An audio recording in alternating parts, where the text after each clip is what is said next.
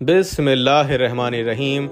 असलकम वरहमतुल्लाहि वबरकात इस्लामिक दुनिया चैनल के प्यारे दोस्तों, सूरह फातिहा के बेशुमार वसाइफ हैं। लेकिन आज की इस वीडियो में एक छोटा सा दो जुमलों का वजीफा हम आप दोस्तों और बहनों के साथ शेयर करने जा रहे हैं। सूरह फातिहा की एक आयत आप चंद बार बुज़ुर्गों के बताए हुए तरीके के मुताबिक पढ़ लें। पढ़ने का तरीका आपको बता रहा हूँ। ये आयत अल्लाह पाक को बहुत पसंद है।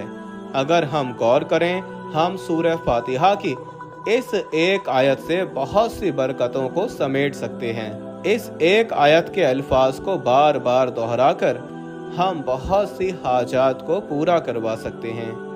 हमारी तमाम ख्वाहिशात पूरी हो सकती हैं, क्योंकि ये अल्लाह ताला की बहुत ही प्यारी किताब यानी कुरान पाक का एक लफ्ज़ पढ़ने से हमें हज़ारों नेकियाँ मिलती हैं। और साथ ही हमारी ज़िंदगी की तमाम परेशानियाँ इससे हल हो सकती हैं। हमारी मुश्किलात कम हो सकती हैं, हमारी मुसीबतें दूर हो सकती हैं। इस अमल से आप बड़ी से बड़ी कामयाबी हासिल कर सकते हैं। कुरान मजीद के इन दो जुमलों की फजीलत और बरकत बहुत ज़्यादा है। हम सिर्फ़ इन दो जुमलों को पढ़कर अपनी मुश्किलात से बाहर निकल सकते हैं। अपनी मुसीबतों से जान छुड़वा सकते हैं। खसूसन आपके रिसक के मसाइल ख़त्म करने के लिए सूर फातिहा के मुतालिक एक राज भी आपको बताऊँगा, ताकि आप खुशहाल ज़िंदगी गुजार सकें। यह कुरान पाक की एक आयत का अमल है। इसको पढ़ने से आपकी बीमारियाँ भी ख़त्म होंगी आपको शिफा अता होगी। आपकी मुश्किलात दूर होंगी और सबसे बढ़कर आपके दिल की हर ख्वाहिश अल्लाह पाक पूरी फरमाएगा। अल्लाह पाक के कब्जा कुदरत में हर चीज़ है। अल्लाह पाक कुछ भी कर सकता है। अल्लाह हर चीज़ पर कादिर है। ये इंतहाई आसान वजीफ़ा है। हर इंसान इस अमल को कर सकता है। करना आपने ये है, किसी भी वक्त इसका कोई वक्त मुकर्र नहीं है। आप किसी भी वक्त इस अमल को कर सकते हैं। इस अमल को आप हर नमाज़ के बाद कर सकते हैं, या किसी एक नमाज़ के बाद भी कर सकते हैं। इस अमल को करने के फ़ौरन बाद अल्लाह पाक की बारगाह में दुआ करनी है। इन आप जिस मकसद के लिए, किसी भी हाजत के लिए जो भी दुआ करेंगे, अल्लाह पाक आपकी दुआओं को कबूल फरमाएगा। और इस अमल को आपने तब तक करते रहना है जब तक आपका मसला हल नहीं हो जाता। ज़िंदगी की हर मुश्किल के लिए सूरह फातिहा शिफा है। याद रहे, हर नमाज़ में सूरह फातिहा पढ़ी जाती है। अगर सूरह फातिहा में अल्लाह पाक ने कोई चीज़ रखी है, तभी तो हर नमाज़ में सूरह फातिहा पढ़ी जाती है। बल्कि सूरह फातिहा की एक आयत ईया कनाबदू व ईया कनस्तईन अल्लाह पाक ने इस आयत में खजाने रख दिए हैं। आज का ये वजीफ़ा सूरह फातिहा की एक आयत नंबर चार का ही है। इस आयत को आपने सुबह शाम सौ मरतबा पढ़ना है। इस आयत को पढ़ने से आपको बहुत से फ़ायदे हासिल होंगे। एक जगह बैठकर आपने शुरू और आखिर ग्यारह मरतबा दरूद पाक पढ़ना है।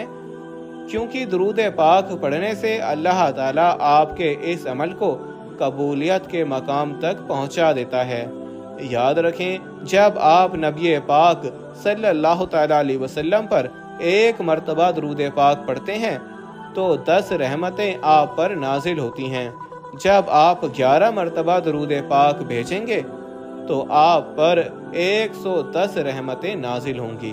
आप जो भी वजीफ़ा किया करें, दरूद पाक लाजमी पढ़ा करें। आप पर रहमतों की भरमार हो जाएगी। करना यह है कि शुरू और आखिर ग्यारह ग्यारह मरतबा दरूद पाक पढ़ लेना है, फिर एक तस्बी पढ़ लेनी है।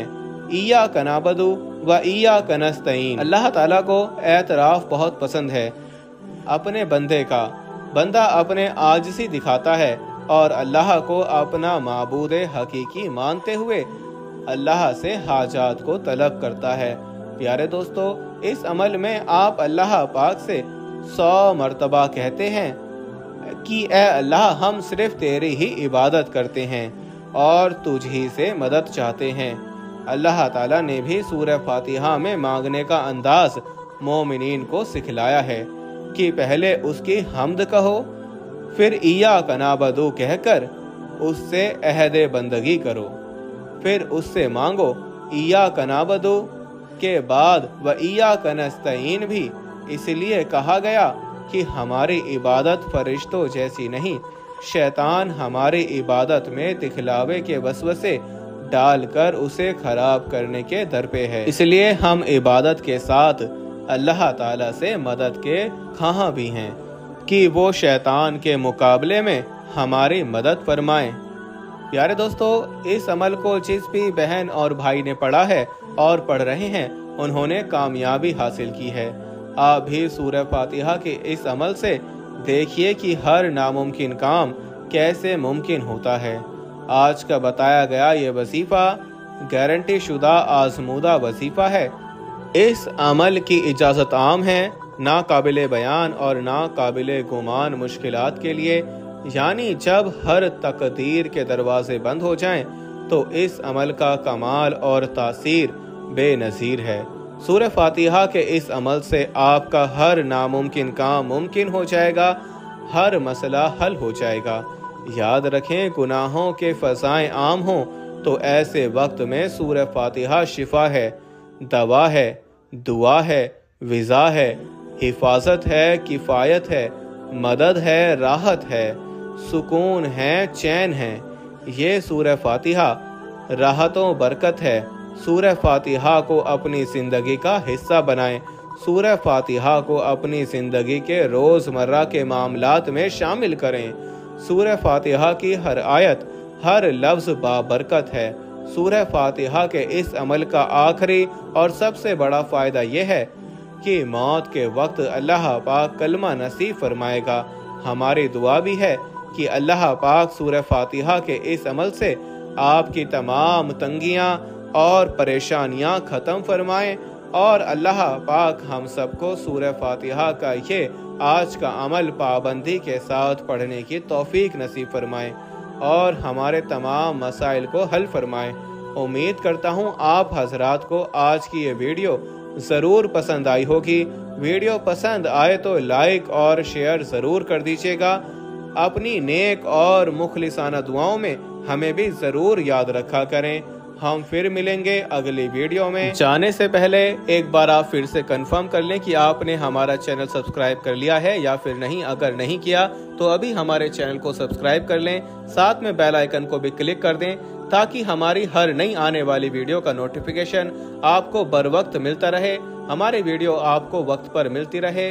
मिलते हैं अपनी अगली वीडियो में, तब तक के लिए मुझे इजाज़त दीजिए। फ़ी अमान